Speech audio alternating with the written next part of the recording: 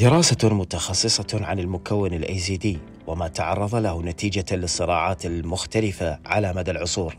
وضعها الكاتب سعد سلوم في كتابه الذي حمل عنوان الإبادة الجماعية مستمرة حيث يوضح أنواع الإبادات التي تعرض لها الأيزيديون وفقا لدراسات علمية اعتمد فيها على الجذور التاريخية والجغرافية وكذلك متغيرات الحياة السياسية والاجتماعية وانعكاسها على واقع الأقليات. الدراسة هي محاولة لتأسيس حقل دراسات الإبادة الجماعية في العراق. هذا الحقل الذي لم يتأسس بعد من خلال دراسة الإبادة الجماعية للإيزيديين استمراريته في الذاكرة والثقافة الإيزيدية والصراع حول أراضي الإيزيديين وهوية الإيزيديين الذي يعد استمرارا للإبادة الجماعية بوسائل أخرى.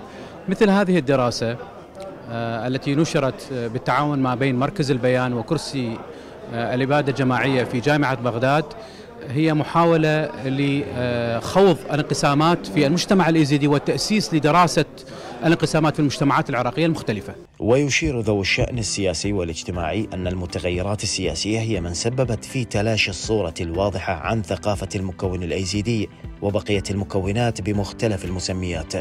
ولا بد من تأصيل هذه الدراسات في الجامعات لكبح جماح الإبادات. يتم التصرف مع الأقليات باعتبارها أرقام لتحقيق ما مقتضيات سياسية، فبالتالي هذا يؤثر، ممكن أن يأتون إلى شخص، هذا الشخص ما يكون كفؤ ولكن يستقطبوه لأنه ممكن أن يغذوه ويحقق أجنداتهم، فبالتالي يخلق نوع من الانقسام وهكذا، ولهذا أنا أشرت على أنه يجب أن يكون هناك التعامل مع النخبوية الصادقة التي ترى في المصلحة الايزيديه مثار صحيح في إطارها الوطني وإطار الأمة العراقية. الكثير من هذه الدراسات هي تساهم في تطوير المناهج التربوية بالتالي تخدم المجتمع العراقي وتصالح مع بعضهم البعض. بالتالي نخلق مواطنة صالحة جيدة وبيئة مناسبة جيدة تخدم الجميع. الكتاب يحمل السمة التوضيحية عن تلك الإبادات واصطدام المكونات والأقليات بالمتغيرات على مدى العصور